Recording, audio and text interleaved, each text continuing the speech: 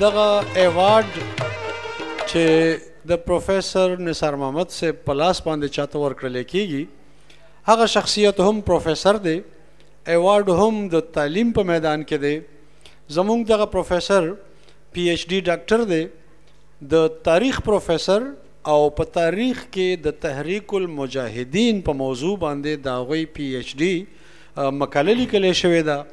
د دې نه علاوه هم د تاریخ نه علاوه هم په تهذیب، تمدن او په پښتنه سیمه باندې د هغوی تحقیقات، د هغوی تحقیقي مقالې او د هغوی کار وخت په وخت مخې ته راغلی دی.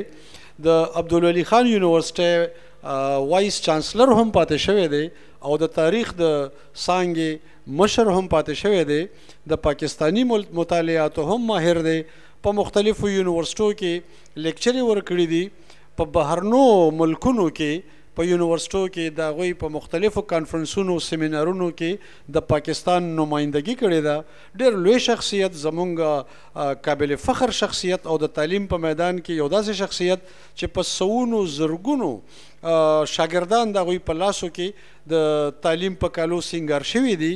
په شلګونو پی ایچ ډي ډاکټران د هغوی په سوپرویژن کې د هغوی په لاس کې ډاکټران جوړ شوي دي د ایوارډ لپاره به یې راغواړي ډاکټر شهاب عزیز ارمان. زه دغه قابل فخر اثاثه د دې قوم ستاسو په دروند استقبال کې راغواړم خپل استاد محترم پروفیسر ډاکټر جانزیب خلیل صیب چې هغوی راشي او خپل ایوارډ وصول کړي پروفیسر ډاکټر جانزیب خلیل صیب.